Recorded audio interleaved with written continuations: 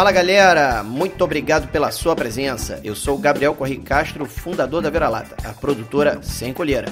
Esse é o Hora do Render, como sempre, trazendo convidados e batendo um papo sobre tudo que rola no mercado audiovisual, cinema, publicidade e produção de conteúdo. Hoje nós vamos bater um papo sobre direitos autorais. Né? Hoje é um papo para aqueles produtores que, assim como eu e tantos amigos meus, já se descabelaram na hora de fazer um, um documentário, na hora de licenciar imagens, fotos, vídeos, músicas. Então, queria convidar a Paula Tupinambá, que é minha amiga e vai participar aqui dessa live para explicar um pouquinho para a gente. Paula Tupinambá é advogada especialista em direitos da propriedade intelectual, com foco em direitos autorais. Ela é sócia da Poug e Tupinambá Sociedade de Advogados membro da Comissão de Direitos Autorais e Entretenimento da OAB. Olha que chique. Atuou por mais de 10 anos como advogada no mercado financeiro e mercado de capitais. Além disso, é professora de Direitos Autorais na Escola de Cinema Darcy Ribeiro. Vamos falar com a Paula. Oi. E aí? É... Seja bem-vinda. Paula, estava contando para a galera aqui do, um pouco do, do quem você é, mas eu queria antes contar como é que a gente se conheceu, né? Eu me lembro da gente se conhecendo no antigo Rio, não, era no, no Rio Content, Rio né, que não era ainda Rio Tio né? E a gente foi apresentado pelo Rilson. Isso. Porque para quem já foi no Rio Content, gente, o Rio Content basicamente era o seguinte: você ficava lá no Windsor, né? Era o Windsor, era aquele hotel, era o Windsor, é, o Windsor, não era? Barra, isso. Exato. Você ficava ali dentro, assistia uns painéis, ia numa rodada de negócio e tal, mas nada disso importava. O que importava mesmo era quando acabava o evento, você ia para um quiosque terrível que ficava ali na frente e só vendia cerveja ruim, tinha nada para comer, era horroroso. E só que lá o mercado inteiro audiovisual estava ali, assim. Qualquer pessoa que você quisesse falar, desde um alto executivo da Sony ou um cara da Endemol, ou não, todos estavam no boteco ali, que era o quiosque, quiosque, tomando cerveja, falando bobagem, e ali eu cansei de ver várias apresentações de projetos acontecendo ali, assim, isso é Certeza. inacreditável, né? Velhos e bons tempos de aglomeração, né?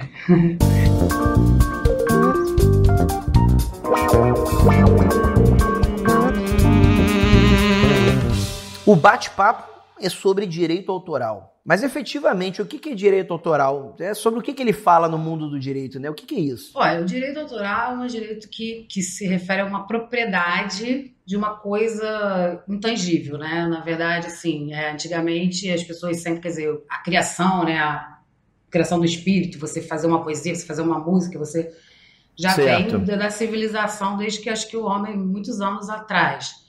E antigamente, assim, quem fazia, os, os, artistas, eles eram contratados pelos, sei lá, pelos monarcas, pelos reis, para tocar nas cortes. Então, essa proteção do direito autoral, ela não existia, eles se recebiam ali. Quando aconteceu que, quando veio a, a criação do, aquele negócio mimeógrafo, tipógrafo, que começou a reproduzir em massa as, as partituras e tal, os, os autores começaram a se sentir prejudicados, porque, de repente, eles aquilo tomou um alcance muito maior e eles não tinham uma proteção em relação ao direito deles. E aí, sei lá, mais ou menos 1500, sei lá qual é o ano, mas é por aí, teve uma primeira lei que protegia, que se chamava Estatuto da Reana, na Inglaterra, que protegia direitos autorais como uma propriedade intangível, que você não pode pegar, tipo assim, que é muito fácil falar, esse copo é meu, Gabriel, não pega.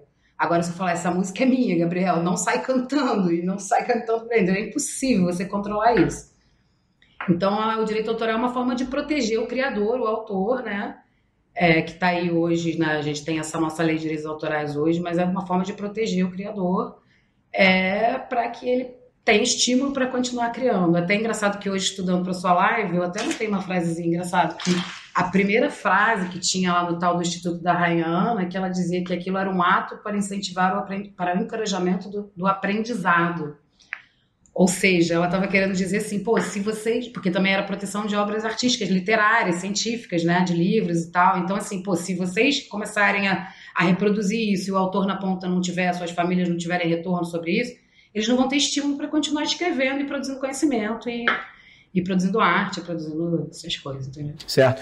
E o direito autoral, né? É, aí já se aproximando né, da, do, do audiovisual a gente acaba lidando com o direito da imagem, o direito do, do autor, né, de um argumento, de um roteiro, e o direito relacionado à música, né, que ainda tem subdivisões e tal.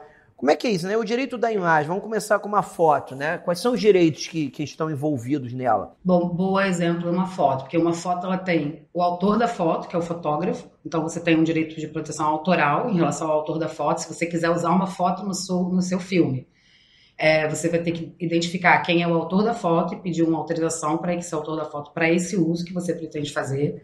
Se essa foto estiver retratando outra pessoa, esse retratado nessa foto também tem que, dependendo do contexto, claro, do, da obra e tal, mas também tem, precisará autorizar essa, essa retratação, esse uso da imagem dele, que é um outro direito que não tem nada a ver com o direito de autoral, é um direito de personalidade. Esse é o direito de personalidade, né? Certo. É, o direito de personalidade, que a gente chama de direito de imagem, assim, que também é muito comumente chamado de direito de imagem, mas ele não se refere só à imagem, ele se refere aí que que é onde pega que ele se refere a questões é, da sua personalidade, a sua honra, a sua reputação.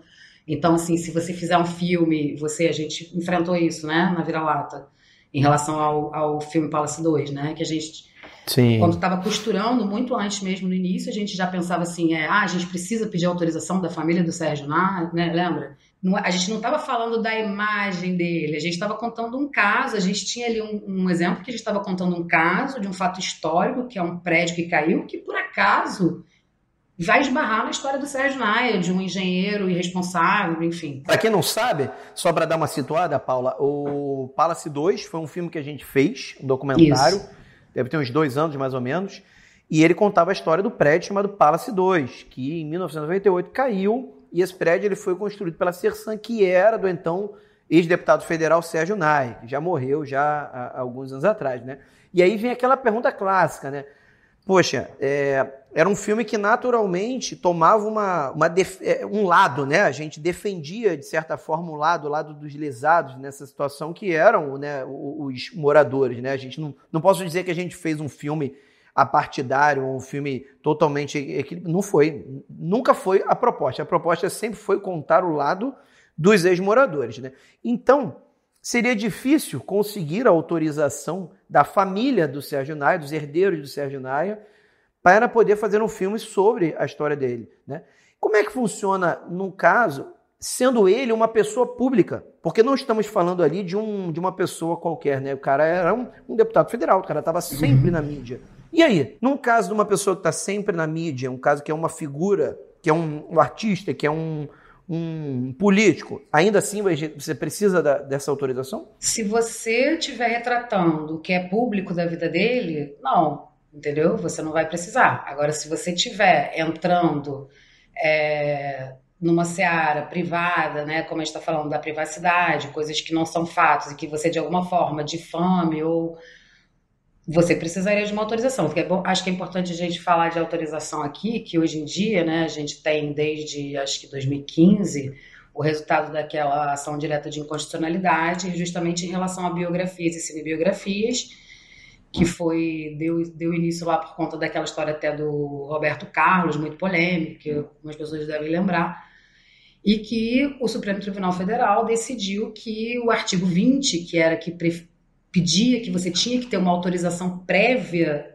do retratado para falar da vida dele, para usar os escritos dele, a voz, a imagem e tal, isso cai, quer dizer, cai não, mas tem uma decisão do STF que passa, que interfere diretamente no artigo lá do Código Civil. Então, se hoje em dia você não precisa de uma prévia autorização. Ah, as pessoas pedem, se você for fazer um filme na Ancine, para quem está ouvindo aqui, você vai fazer um filme sobre uma personalidade, a Ancine vai te pedir de repente, de ofício num, num edital?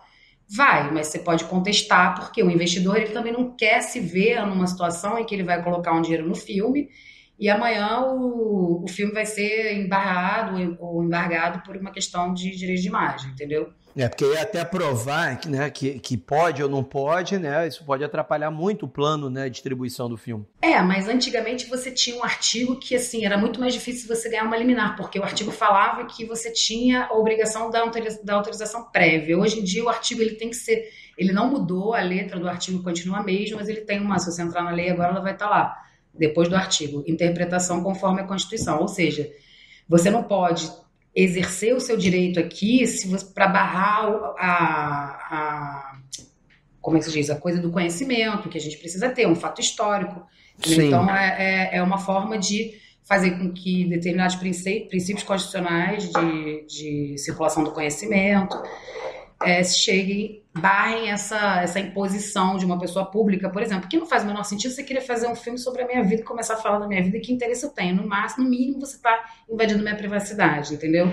se eu não tiver um, um, um motivo para você fazer. Então, acho que esse é o conselho que a gente sempre te deu nos, nos filmes que a gente. que é sempre filmes bem polêmicos, com bastante. Né, aí na vira-lata, né? Além do Palace Com questões a resolver, né? É, de, de direitos de terceiros, muito, com direito, muitos direitos de terceiros envolvidos, né? Que são esses direitos de imagem, direitos de direitos de propriedade intelectual, que são direitos autorais. Mas é isso. Então, assim, eu quis falar dessa biografia que você não precisa, mas a gente passa por um risco que, claro, em tese todo mundo pode entrar com uma ação lá e falar, ah, sei o que, isso sair no jornal, isso gerar uma polêmica negativa ou positiva para o seu filme, ah, o cara não autorizou, entrou com pedido de eliminar para o filme não sair.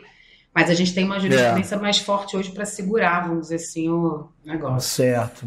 É, é, chegou até uma pergunta aqui, geralmente eu não respondo perguntas no, no meio, tá? Até queria falar, para quem tiver uma pergunta, vai colocando aí, que a gente depois para um momento só para responder pergunta. Mas essa é bem pertinente, né? Que existia, além do, do Sérgio Nair, né, outros envolvidos e tinha um engenheiro, né? Tinham, aliás, tinham dois engenheiros que estavam muito ligados à obra e que foram é, a julgamento, foram iniciados e tal.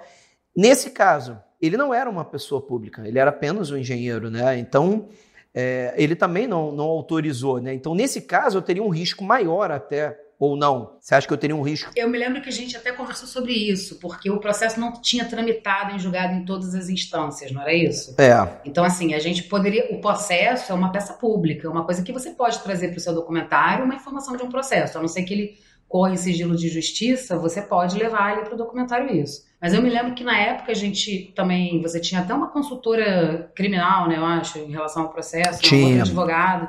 Eu me lembrei que a gente conversou sobre isso, que assim, é, a gente não não condenar o cara, né? Porque ele tá passando por um processo, por um julgamento, entendeu? Assim, então, ter esse cuidado, essa ética, eu acho que você pode ter um lado, como você falou, não é um, um documentário apartidário, eu acho que nunca é. A gente sempre tem uma premissa, entendeu? Mas uhum. tem que ter muita responsabilidade, muita ética com contar essa história, com o jornalismo. É, super concordo, cara. Assim, para fazer um, um, adendo aqui, o que, eu, o que eu digo é que naturalmente você acaba contando uma história. A própria, o próprio trabalho de montagem é você contar uma história, é você selecionar uhum. o que, que entra, o que, que não entra, de forma que aquilo no final vai gerar um, um pensamento né, acerca daquela questão. Então, naturalmente, você vai tomar um partido. Né? Então, fica uhum. óbvio né, isso. Agora, eu não posso é, dizer que fulano ou ciclano é culpado ou não culpado. O que eu apresento, né, e, e isso é, é a, é, a, forma que eu gosto de fazer documentários, eu apresento os fatos, né, os fatos que são é ditos e que são de conhecimento público ou de uhum. conhecimento de uma outra pessoa, entendeu, que possa vir a contar um fato e tudo mais, né. Então eu não tomo eu como documentarista, como produtor de documentários, dizer eu acho que é isso, eu acredito que é aquilo. Não, eu, eu apenas me limito né, a contar o que está diante de qualquer pessoa que queira buscar essa informação também, né? É um pouco é. o que aconteceu. Para a gente sair aqui da questão de imagem, né, vou lembrar aqui do, do outro fato né, desse documentário. Porra, tinha. É, a gente imagina, né? A gente fez esse documentário, foi com a parceria com a Globo Filmes, Globo News, com a Urca. Foi uma galera de peso, foi legal. E a Globo liberou pra gente acesso a todo o material de arquivo jornalístico, né? Das matérias jornalísticas que eles fizeram ali naquela época. Cara, aí tu imagina, né? Pô, seis horas da manhã, logo depois que uma parte do prédio caiu, tinha reportagem entrevistando moradores lá, falando, e aí, o que aconteceu? Então, o cara dando depoimento. E tinham várias pessoas atrás que passava para um lado, passava para o outro, aí falava uma coisa, falava... Aquelas pessoas, muitas delas, ninguém sabe quem são, né? Assim, é... é e a gente fez um trabalho extenso de tentar encontrar aquelas pessoas, né? De perguntar, a gente criou grupos com os, os ex-moradores, a gente mandou e-mail para a associação, a gente fez, a gente falou com a Globo, com todo mundo que a gente podia, que tinha acesso. A gente botou até anúncios na internet, olha, se você conhece alguém uhum. que, que é, se você reconhece essas pessoas aqui, por favor, entre em contato. Mas não conseguimos. Então, muitas pessoas ali não tinham autorização. Como é que funciona nesse caso, Paulo? O que, que você acha? Então, é, é de novo, a gente estava mostrando um fato né, jornalístico. O foco não eram aquelas pessoas, né? Aquelas pessoas é, estavam ali por conta daquele, daquele acontecimento. A gente costuma dizer assim, é, tem umas regras, né, que a gente fala que são três regras dos três passos para você saber. A pessoa sabia que ela estava sendo, né, é, tinha intenção de Gravada, ali. Né? Uhum. Naquele caso ali não era, porque não é você filmando um documentário, é totalmente jornalístico, as pessoas chegando, a confusão acontecendo, o prédio caindo, as pessoas correndo desesperadas. Então, de novo, eu volto nessa questão de o quanto você é, estaria com o uso daquela imagem, retratando o seu filme, que aparece é, como que a gente diz, é uma coisa que é periférica, né? Aquelas pessoas estão ali, aquilo faz parte daquela cena principal, vamos dizer assim. Se você não está é, denegrindo a imagem daquela pessoa, claro que ali poderia ter um fator psicológico muito, muito grave, eu acho. No caso dessa cena em si, uma cena muito chocante, uma cena, né, de que se eu tivesse vivido aquilo lá, de repente eu não ia querer ver minha mãe desesperada, ou sei lá o que, alguma coisa que Sim. acho que você vai numa questão do psicológico, que é também uma questão emocional, que não está escrito na lei que a sua personalidade tem uma questão emocional, mas ela tem, ela tem a ver com a sua honra, né, com como claro, você vai claro, se sentir. Mas assim, a gente tenta minimamente, assim, pessoas que estão em primeiro plano, que de alguma forma estão se colocando numa situação que possa às vezes acontece, por exemplo, assim, eu costumo dizer isso em sala de aula, assim, ah, você é, apareceu numa manifestação e você estava lá com um negócio do Lula e você de repente você não gosta mais do Lula e agora você odiou que você apareceu no filme com aquele negócio porque você é um até tem um direito até que eu aprendi recentemente com o Sérgio Branco mestre e colega agora não vou lembrar o nome do direito mas é um direito à identidade alguma coisa assim tipo assim ó teve um caso que ele até contou que o cara foi filmou filmaram um barzinho gay uma coisa assim e os caras saíram na imagem no jornal estavam falando, ah, os bares é, LGBT aqui na, na, na região tal, não sei o quê. Quando colocaram a foto, colocaram a foto do cara e o outro cara. Só que ele estava no bar com a namorada dele, que estavam as duas namoradas do outro lado da mesa, e ninguém fez aquilo. Ele falou assim: não é uma questão da minha imagem, é uma questão de, da minha identidade, não é preconceito porque eu não sou gay. Mas eu não sou essa pessoa e você está me colocando nesse lugar. Então, tem várias questões Entendi. que são delicadas em relação ao uso da imagem, principalmente se elas são o foco principal daquela cena, né? Você tem que ter esse tipo de cuidado. E o uso da imagem discriminadamente, quer dizer, numa ficção é, ou numa coisa que não esteja justificada por esse artigo, porque a lei de direitos autorais, assim, é, no caso aqui é direito de imagem, a gente não tem um fair use no direito de imagem, mas você faz uma analogia, que é tipo assim, ó, eu estou usando aqui, quando você usa o disco da Blitz, como você falou, estou contando uma, uma história. Isso aqui é, é, faz parte da contação de história. Não preciso pedir uma licença para mostrar a capa do disco então, vamos contar essa história, entendeu? São formas que são flexibilizações na lei, é um artigo inteiro que está lá, que é muito subjetivo, a gente sempre né, conversa muito é, sobre isso. Não, é, isso lembra vários fatos, né? Assim, acho que a gente agora pode trocar de filme aqui na nossa conversa, né? Fala, é. é. é falando aqui de filme, né? Depois do Palace a gente fez o Blitz, né? Uh, uhum. Literalmente sobre a banda Blitz, com o Evandro Mesquita e tal. Foi pô, um projeto incrível, tá até aqui na, com um posterzinho aqui atrás, tem muito uhum. carinho por ele. E nesse filme a gente teve outros tipos de problema, né? Não vou nem chegar na música ainda, né? Mas na imagem, né? Tinha uma questão de caramba, pô, a gente tem que Pô, vamos contar a história da Blitz. Cara, tem que filmar, tem que ter imagem do Rock in Rio, porra, do rock, primeiro Rock in Rio, tal, tal, tal. Aí começa, né? Caramba, a imagem do Rock in Rio, beleza. De quem a imagem? Aí a luta era essa, né? Pô, de encontrar quem é o dono daquela imagem. Aí o Evandro, né? O Evandro dizia: Não, Gabriel, porra, bicho, as imagens eu tenho tudo aqui, estão aqui gravadas aqui no DVD, no meu HD aqui, eu vou te arrumar, tá tranquilo. Aí ele falou, porra, mas não é isso, tal, porque tinha uma questão, né? O, o Evandro tinha guardado milhares de imagens que ele tinha gravado dos shows que ele fez, só que ele não tinha direito sobre aquela própria imagem. Porque aquela imagem, ele tinha o direito de personalidade dela. Mas o direito dela era também de quem gravou aquela imagem, certo, Paulo? Do cinegrafista, você está falando? Do, de quem fez é, aquela ou, imagem. Ou do cinegrafista, né? Que fez o ou a show, produtora que, que fez show. o show, né? Sim, né? com certeza. Então, ele tinha uma parte do direito, que era o direito, então ele poderia autorizar, cara, eu autorizo você usar as imagens do Rock in Rio. Só que ele não pode autorizar o uso total, ele só pode autorizar sobre a imagem dele. Sim. Né? Então a gente a além que ele de... seja o autor das imagens, que ele tenha feito como exato, ele fez lá, quando exato. ele foi lá para ganhar o prêmio lá, que ele fica fazendo uma coisa, ele gravar as imagens dele, foto que ele tirou. É, é aqui eu estou problematizando aqui para as pessoas entenderem né, o tipo de situação que que ocorre. Né? Então a gente teve que comprar essas imagens, essas imagens eram é, parte da Dream Factory, que é a dona do Rock in Rio, lá do Medina, tal, tal, tal, uhum. e da Globo. ou do Multishow, agora não lembro, né? Multishow da Globo, enfim.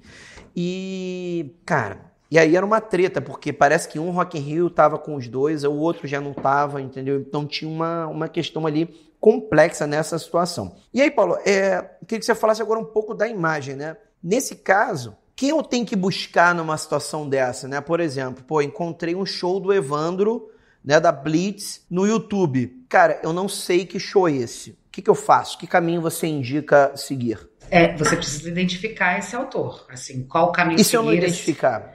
Se você não identificar e quiser usar ainda assim sem identificar, você está correndo o risco de ter um, um, um autor te, te, te, processando, enfim, te notificando por uso indevido de propriedade intelectual. Normalmente, né, assim, as músicas são muito fáceis, elas estão editadas, elas têm as gravadoras, é, as obras audiovisuais, entendeu? Assim, essas gravações, imagina, antigamente, eu tava com a Super 8 na mão, tá aquelas câmeras, essas coisas, realmente esses registros que não foram feitos por uma Globo, uma produções e tal, é difícil você identificar o autor das imagens. Mas quando a gente está falando só de uma imagem, assim, é pura e simplesmente uma fotografia, ou, ou eu peguei minha câmera e abri. Agora, quando você já está falando de uma filmagem, que foi uma filmagem de um show, que por trás envolve uma produtora, que aí a gente tem, eu não vou entrar nessa seara, mas o direito autoral ele tem, né? Quem dirigiu aquela filmagem, que é aquele assunto que a gente estava falando hoje, ou mais, sei lá, mais cedo, sobre a questão das lives é, depois que elas ficam, né, um show. Então, assim, quem é o produtor daquilo? Porque é para ele que você vai ter que pedir. Quem tem a propriedade, o direito patrimonial, normalmente, para uma obra audiovisual, é a produtora,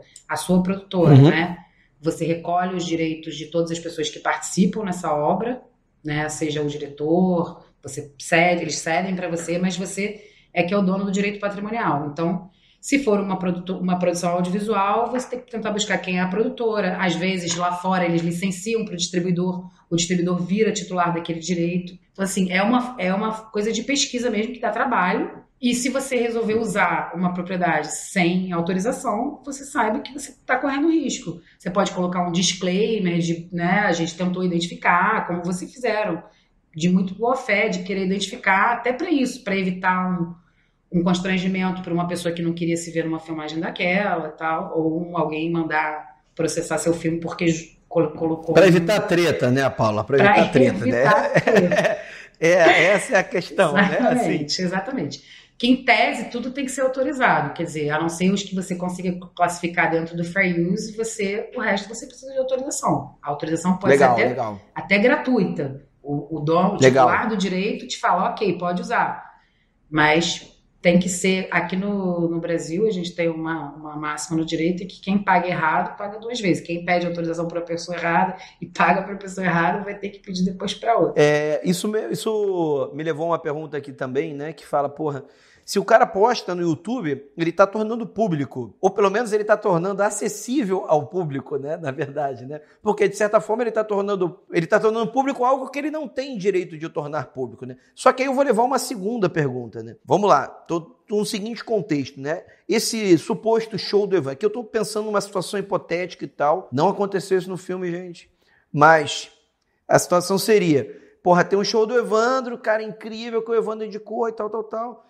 Encontrei o show na internet, porém nem o Evandro nem eu, ninguém sabe da onde veio aquele show. Aquele, porém aquilo tá no YouTube, né? Só que eu não posso usar. E nem o cara que postou no YouTube poderia ter postado, a não ser que efetivamente ele fosse o autor. Só que aí o Evandro estava lá na casa dele e a gente estava gravando uma entrevista com ele e ele resolveu mostrar o show no YouTube da casa dele.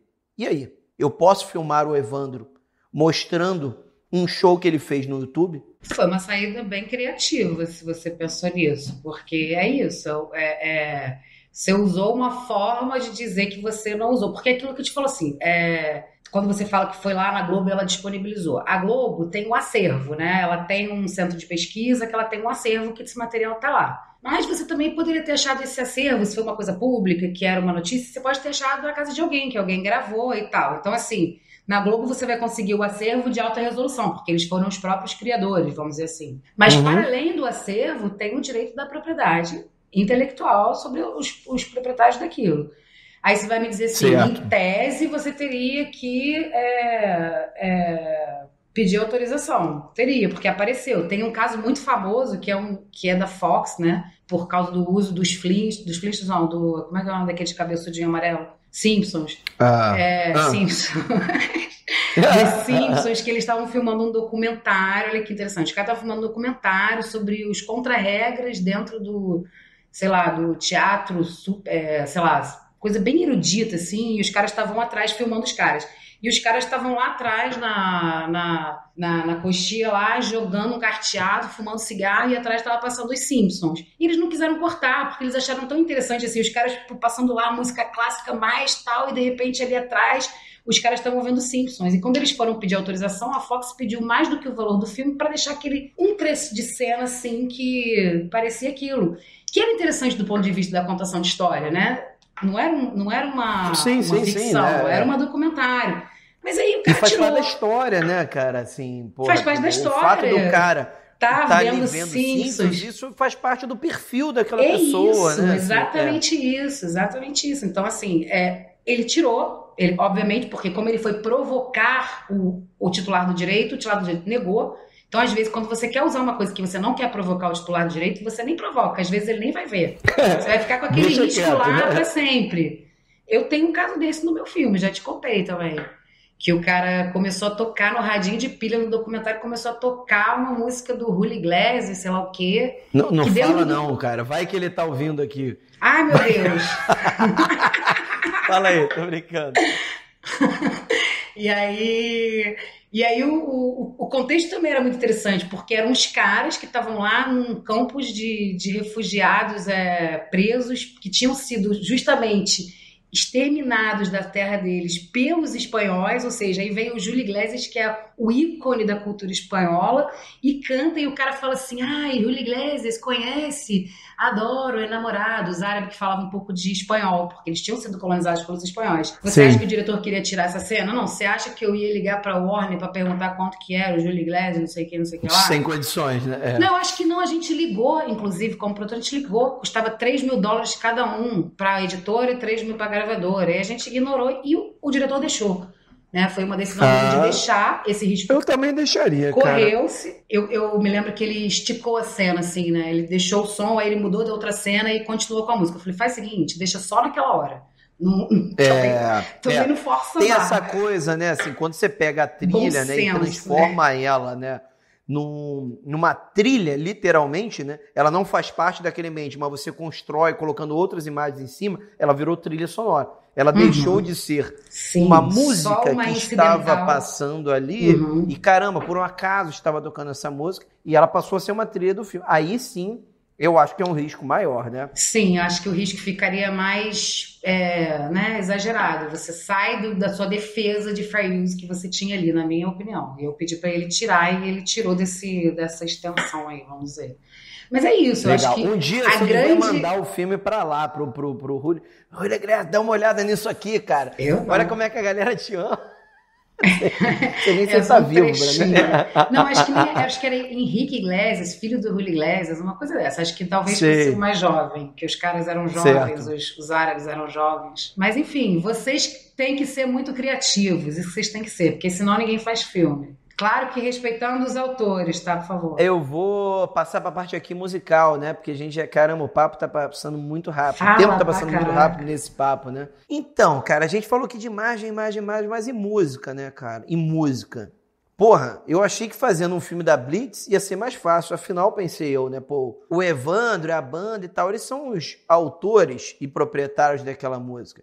Porra nenhuma. Né? Mal sabia eu que era uma galera, uma confusão, e ainda tinham questões, um brigou com um, que brigou com o outro, e aí tinha treta entre eles e tal. Pô, foi extremamente complicado. Chegamos aí a um resultado final, o filme tá aí, pra quem quiser ver, tá no NetNow, tá no Vivoplay, no Look, nas principais plataformas de VOD. Mas a questão era, Paula, a música tinha uma questão. O Evandro também falava para mim, Gabriel, vou gravar a música para você. E aí você pode usar no filme. Só que tem o direito da gravadora e tem o direito da editora. Sim, não resolveria se Certo? eu não fosse o único autor. É. Pois é, como é que é isso? Qual é a diferença entre a gravadora e a editora? Quem é dona do quê? Como é que isso funciona? Então tá, vou tentar explicar isso de um jeito bem, bem simples. É, a música, né, ela, ela- quando ela é criada, ela é criada só a música. Vamos dizer, uma partitura, um lá, lá, lá, às vezes ela é lá, lá, lá com uma letra. Isso é a música, a composição que tem proteção autoral de direitos autorais como obra musical. Ainda bem que você não seguiu nossa carreira musical, hein, Paulo? Do lá lá lá para virar música. Não, porque eu quero dizer é o que eu quero dizer é o seguinte, que a música, ela não tem aquela coisa quando a gente pensa da ah, tá tocando, não sei que, aquilo é o fonograma, é disso que a gravadora tem direito. A música é o Evandro sentado com os caras ali, bêbado, arranhando uma vitrola, isso aqui lá com Fá, dá isso aí e tal, escrevem. Tem gente, tem autor que nem sabe escrever partitura. Eles botam a gravação fazendo às vezes um. Você tá brincando assim, é, como é que um solfejo mesmo, sabe? Assim, de como é, é a melodia. Então, assim, a música ela tem essa parte da criação da composição, que, que inclui a letra e a música, que qual, qualquer um pode é, cantar, tocar, enfim. Quando você vai cantar e tocar, você já vai para a execução da música. Então, quando você, o, o Evandro, ele foi lá e criou, é, sei lá, Estou do Espaço do Paraíso. Ele criou. A própria Blitz gravou, mas amanhã podia ser que alguém mais quisesse gravar. Esse direito de composição, se eu quiser gravar Estou do Espaço do Paraíso no meu disco, que agora eu quero ser cantora, eu vou ter que pedir autorização para os autores, compositores da música. É um, é um direito que a gente chama editorial, vamos dizer assim, mas é o direito de composição. A lei de direitos autorais, ela protege a obra musical. Só que tem um capítulo na, na lei de leis autorais que fala dos produtores fonográficos, que são esses caras que antigamente, hoje em dia você não consegue visualizar, mas antigamente era isso. Os caras entravam para uma gravadora, a gravadora dava um monte de carros, boates, navios, mulheres tal. Davam um avanço, né? É, e é, davam é. um advance, uma grana, e eles é. que eram dono, eles que produziam, é ele que paga. É como você é o produtor audiovisual, é a mesma coisa, que você que junta todo mundo para poder acontecer a obra audiovisual, o diretor que é o autor, é, o, o cenografista, o, o diretor de arte, você junta todo mundo e você foi o cara que tomou a iniciativa para que aquele aquela obra audiovisual se concretizasse num numa mídia, num suporte. Sim, num projeto, em algo, Numa coisa né? pronta, é. Isso daí certo. no audiovisual só existe com isso. Então, para obra audiovisual, esse exemplo de essa comparação não foi muito, infeliz, muito feliz, mas assim, ela só é, se só existe a obra audiovisual depois que o produtor fez tudo isso e fez isso acontecer. Na obra fonográfica, não. É na obra musical, não. Ela existe mesmo se não tiver ninguém nunca gravado um fonograma dela nunca tiver ninguém ido para um estúdio, botado um violão, não sei o quê. Então, para cada gravação daquela música, aquela obra musical protegida por direitos autorais que qualquer autor criou e tal, que são os autores, você pode ter ou vários suportes que são os fonogramas e esses são da titularidade da gravadora. Hoje em dia a gente tem muito produtor independente que é o titular do próprio fonograma também, faz o próprio disco. Mas antigamente isso era bem né, dividido, assim o autor criava e a gravadora contratava ele para ir para o estúdio para criar os fonogramas. Esse fonograma é o que você usa, às vezes. Você vai lá e coloca uma música da Blitz, você está usando o fonograma, então você está usando o direito dos autores e o direito dos donos do fonograma, que é a gravadora. A ideia do, do Evandro, eu posso cantar uma música, você não estaria usando o fonograma. Você só precisaria pedir autorização para os autores. Se você, né, se você pega uma música no filme e ele, outra pessoa vai tocar. Você não está usando um fonograma que já é de alguém, você está criando seu fonograma, está indo para o estúdio, está botando o baterista, está botando o cara, está botando o gravador, o microfone e criou um novo então, fonograma. Vamos pensar na prática, né? Vamos pensar na prática. Paulo, a gente está fazendo um filme e, porra, a gente quer botar uma música do, sei lá, da Marisa Monte. Hum. Porra, pensei aquela uma música e tal dela, quero botar e tal, porque eu acho que tem tudo a ver ali com aquela cena. E aí? Como é que eu faço numa situação dessa, né? Quem eu devo buscar? Eu devo buscar Marisa Monte? Eu devo buscar a editora, a, a gravadora? O que, que eu faço? Se você vai usar o fonograma, se você vai usar o fonograma ou você vai pedir para o autor cantar? Porque às vezes o seu ator principal vai cantar no sarau da cena. Esse é meu exemplo. Seu ator principal vai cantar uma música de autoria da Marisa Monte numa cena. Você só vai procurar a editora. Você não, só calma tá usando... aí, não complica não, Paulo. Olha só, a gente vai botar uma música da Marisa Monte que já existe. Fonograma. Então tá, fonograma. Que eu ouvi, que eu escuto no Spotify, eu acho maravilhoso. Tá. Eu quero ouvir aquela música no filme. Eu vou falar com quem? Vai falar com a editora dos autores da Marisa Monte e com a gravadora dona desse fonograma. Vai falar com os dois. Eu tenho que falar com as duas? Se eu falar com a editora... A editora não fala com a gravadora, não tem, não tem relação entre elas, são coisas separadas. Às vezes é a mesma, né? Tipo, às vezes é o Warner Chappell e o Warner, é, sei lá o quê. Warner Music e Warner Chappell, né? Isso, exatamente. É, então é, é foda, às né? vezes é a mesma, mas as cobranças são por direitos diferentes eles cobram valores, inclusive existe uma, uma prática entre eles que, tipo assim, se a gravadora te cobrou 3 mil e eu, eu tinha te cobrado 2 mil, meu preço agora vai ser 3 mil e é o maior valor que vale para nós dois. É, esqueci até o nome é, dessa prática que eles, que eles buscam no, acho que da Convenção de Viena, até, uma coisa assim. Mas é isso, você tem que pagar para os dois e tem, nesse caso, se a, alguém vai cantar uma musiquinha, é só para a editora, entendeu? Ou se você Certo, porque basicamente a, a editora é dona da música e a gravadora é a dona daquela gravação específica daquela música. Exatamente, exatamente. Certo? Você pensa no Chico então, Buarque. Então, se Quantas pessoas uhum. já gravaram Chico Buarque? Você pode escolher a gravação que a Marisa Monte está cantando a música do Chico Buarque. Pois é, porque isso me leva à questão do domínio público, né? Uhum. Pô, tem uma galera que fala, caramba, porra, cara, o que eu canso de ouvir produtor falando, né? Uhum. Que às vezes está viajando, fala, não, cara, vamos usar a música domínio público e tal, vamos botar uma música clássica e tal, mas porra, peraí, mas essa música supostamente clássica ou supostamente numa outra época que está em domínio público, mas a versão que você quer colocar, ela foi gravada quando? É, então, o fonograma também entra em domínio público. Não é ao mesmo tempo. Também acho que o fonograma são. Desculpa aí, meus amigos, que eu acho que são 50 anos o fonograma. Eu não estou falando certo, 50, 70, uma coisa assim. É que eu saiba era tudo depois... 70, né? Mas, então é... é 70 anos, mas a diferença é essa, porque o fonograma ele entra em, em domínio público, não sei quantos anos, porque eu não estou sabendo agora lembrar quantos são, após a publica... primeira execução pública daquele fonograma. Então, se ele virou um. foi para o Spotify, ou virou um disco e tal, uhum. o prazo para o domínio público do fonograma começa a contar dali. Enquanto que o domínio público para o direito de autor de obra musical, que a gente chama do direito editorial, ele só começa a contar 70 anos após a morte, a morte do né? autor. Isso, e se tiver mais e de às vezes você tem um autor que morreu último. com 90 anos, fudeu, né? Não, você vê esse daí da Blitz, que tem cinco autores, tem que morrer todo mundo para começar a Putz, contar os 70 gente, que tragédia, que horror. Para aquela música estar totalmente em domínio público, é. É, então assim, isso é uma. Eu estou falando isso, tá? Eu estou induzindo esse tipo de, de resposta, porque é, muita gente cai numa certa pegadinha de que, cara, não, uhum. vamos trabalhar com filme de domínio público. Cara, mas não é tão simples assim. Porque você pegar uma versão em domínio público que a composição, né, ou seja, a parte da, da, da editora seja de domínio público, a parte do autor seja de domínio público, e a gravação Pô, tu tá falando uma gravação antiga pra caralho, entendeu? Porra, porque é, provavelmente... tanto, eu acho que 70... Pô, as mais 70 anti... anos, Não, né, é cara? antigo, assim... Gabriel, claro que é antigo, a gente tá falando da Blitz, mas assim, é... tem coisas bem mais não, antigas. Não, não, aqui eu não tô falando assim. da Blitz, não, eu tô falando de outras coisas, sabe? De, de, outra, de outras épocas. Você vai pegar talvez uma gravação para estar em domínio público que tem 70 anos. Sim, é disso que eu tô né? falando, tem que ser isso. É, e aí talvez, pô, uma gravação anos. de 70 anos é atrás. Daquelas cara, coisas não... bem rústicas, bem assim. Mas é. tem, tem umas coisas, tem umas coisas bárbaras. É, que, é, por exemplo, Ernesto de Nazaré, se você entrar aqui na internet, que tá tudo no domínio público. Você pode ouvir aquelas gravações antiquíssimas, assim. Tá lá. Aquelas gravações, é. para além da autoria, né? Tem aquelas é. gravações. É, depois a gente fez um outro projeto, cara, que foi o Roda de Choro, que está aí nos finalmente, né, do licenciamento, né?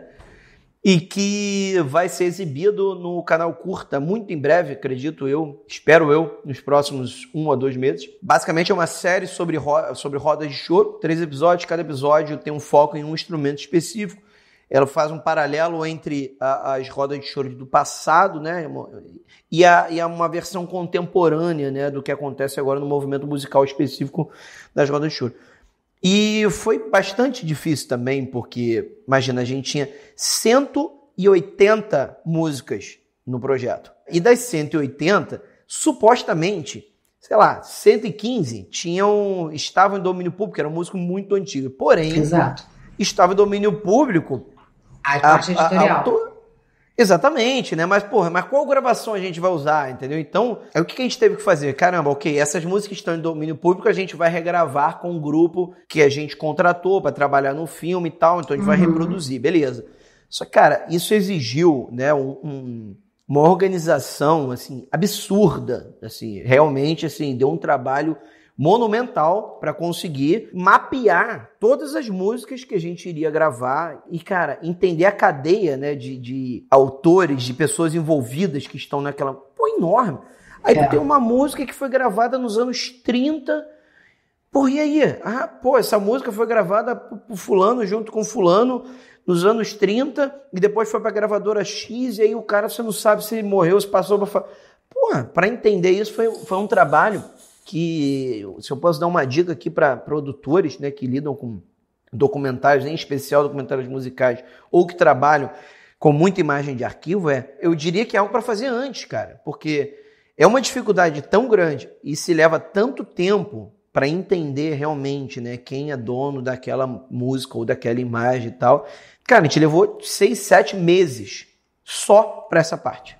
E olha que eu sei, porque eu também trabalhei nesse teu projeto, e eu sei que você tem uma assessoria do pessoal do próprio, porque esse pessoal do choro, eles conhecem muito, conhecem a história, né? Sim, então devem sim, ter sim, te ajudado sim. bastante a, a, andar por aí. Eles, eu sei é. que também frequento lá. Loucura, né? Loucura. É. Um lembrete, pessoal. Segue a gente nas nossas redes sociais. Estamos no Instagram, no YouTube, no Vimeo e no LinkedIn. Nos ajude a divulgar também.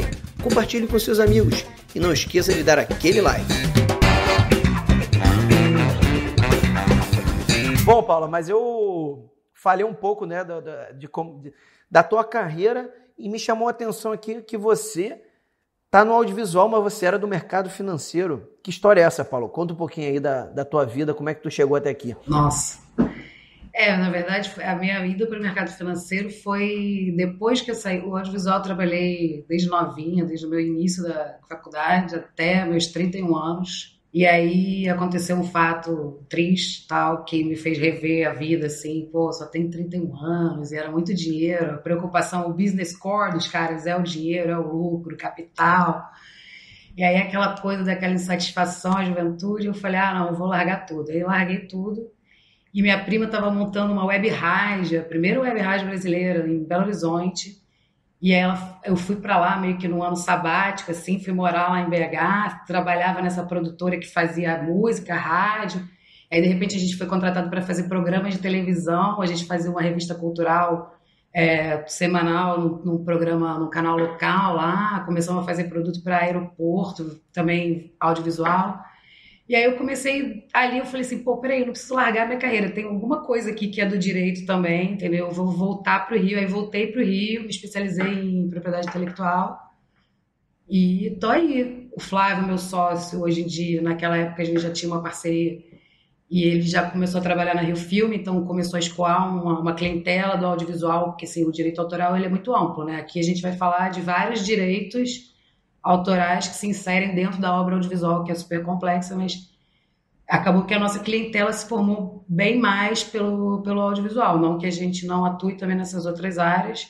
Então, hoje em dia, minha vida, o core business dos meus clientes é a arte, né, cara, que é muito mais legal. Assim, eu acho que eu dei uma grande guinada Posso ter perdido um dinheirinho na bolsa aí, como você falou, mas. É, cara, sabe que eu me aventuro lá de vez em quando também, cara. Eu sempre que eu acho que eu tô me dando bem, depois eu faço uma merda, sempre, cara, assim. E mesmo quando eu estudei muito, e olha que eu estudei bastante, assim, mas ainda assim. Mas eu sei, eu posso dizer que o Gabriel é um dos meus clientes que entende do negócio econômico. Isso é uma coisa muito importante para um produtor, eu acho, assim. Você tem essa característica que é, eu não, acho. Eu adoro. Mas você entende as coisas que você gosta, né, cara? É foda. Fica muito mais fácil quando você tem interesse pelaquilo, né? É muito mais fácil você pesquisar, você acabar é. se entendendo, né? É muito mais tranquilo. Mas, Paulo, ainda falando sobre você você disse que você sempre fez audiovisual, né? Sempre trabalhou com audiovisual e de repente foi parar na área é, desse mercado financeiro. Não, Como não. que você fazia? Eu, eu fazia o mercado financeiro foi meu primeiro emprego, meu primeiro, primeiro estágio. Emprego. Desde o meu primeiro estágio eu fui trabalhar no grupo Catu, na época era o Banco Catu. Aí fiz dois anos de casa e meu chefe não ia não podia mais ficar como estagiário. Meu chefe me contratou como Aspone, assessora de PN. E aí fui ficando, fiquei 11 anos no grupo. E depois, nossa, quer nossa. dizer, dei é. uma saída, pedi demissão, eu era maluca, me chamavam de volta, me chamaram três vezes de volta. Fui morar fora, me casei no exterior, voltei, me chamaram de volta. Até que com 31 anos, essa migração pro, pro entretenimento foi realmente definitiva. Acabou, rompi. Rompi o É. financeiro. É, Eu até ocultei uma parte aqui do teu currículo que você também é produtora, né? Eu falei, cara, é coisa demais, pô, não vai dar pra falar isso tudo. Mas, pô, eu tive lá numa, no lançamento do filme. Como é que era o nome, cara? Que você passava O lá na deserto África? do era deserto. Era no Saara, no Western Sahara, no Saara Ocidental. Que tu Você foi tava lá, produtora é verdade. executiva. Eu fiz Eu a parte lá, da produção lá. executiva local e a distribuição, que foi o maior desafio, que foi fazer a distribuição mesmo, que foi bem legal. Legal. Paula, Uhum. a gente tem um último quadro, né? É um quadro bem inovador. Ele basicamente é de primeiro eu falo uma parada, você me fala outra, assim. Nunca foi feito isso antes Nossa, na história das. Vamos começar. Me fala uma paixão na sua vida. Nossa, a natureza. Legal, legal. Diria que pra mim também. Um filme. Putz, um filme, cara. É Palace 2 ou Blitz? Eu ia falar isso, Paula Seduz. Foi incrível mesmo. Eu amei esse filme, um filme do meu coração, assim. Aprendi muito com esse filme. Tá certo. Uma série, indica uma série aí pra galera. Uma série. Ah, eu vou indicar uma que eu vi no semestre passado, que é dos advogadinhos, que é The, The Good Fight. The Good Fight. Ah, eu não vi essa ainda não. É, boa? bem Tá- boa, tá é bem boa. Tá no Amazon Prime. Legal, legal, vou procurar. Paula, fala uma inspiração na tua profissão, alguém do teu meio que você admira, que você acha que é pica, né? Que é realmente foda. Cara, Alarico Silveira Neto, meu, meu chefe do Grupo Catu, meu, meu mestre. Fala de novo aí pra galera pesquisar. Alarico Silveira Neto, ele é do mercado financeiro, É. na verdade. Ele, mas Ah, ele é minha isso aí, galera. É o guru das finanças. É, Paula, o que, que você gostaria que mudasse no mundo? Que as pessoas tivessem mais, a gente tivesse mais igualdade, assim, sendo bem profunda, mas é realmente o que eu penso. Pode parecer Legal. clichê. Não, não, é, mas esse é o bloco clichê, né? Eu poderia É. até chamar, né? O, Bart- o- o- chegou no bloco clichê. Então, eu vou clichê. É, qual é a primeira coisa que tu vai fazer, na segunda, que tu vai fazer quando acabar a quarentena? Nossa, cara.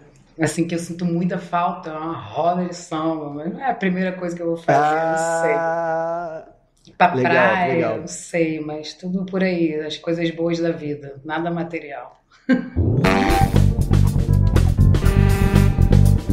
queria que você desse aqui uma mensagem final para os realizadores, produtores, diretores, qualquer outra pessoa que esteja envolvida com projetos e que é, vai iniciar um projeto de documentário que envolva material de arquivo, direito autoral disso ou daquilo, que envolva músicas, licenciamentos e tal. O que, que você indica para essa pessoa para ela começar esse trabalho com o pé direito? Contratar um advogado.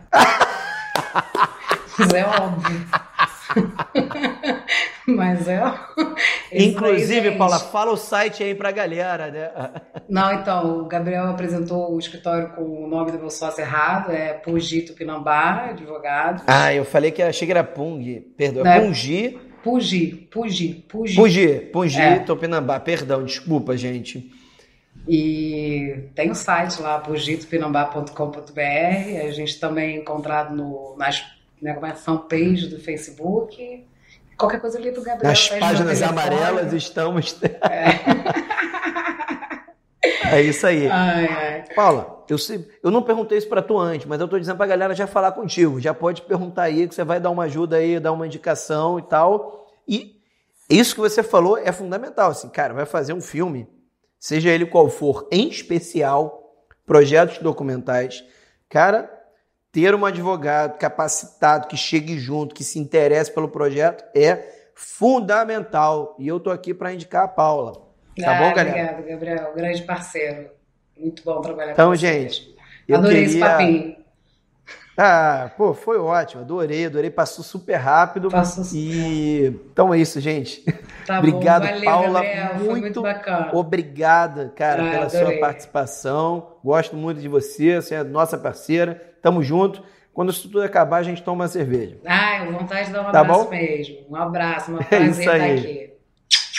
Tchau, tchau. Tchau, Beijão. tchau, gente. Obrigada Boa noite, audiência. Tchau, tchau. E aí, curtiu Curtiu? Não esquece de se inscrever. E se você ainda não ouviu os episódios anteriores, procura aí na sua plataforma digital preferida. Espero você no próximo A Hora do Render.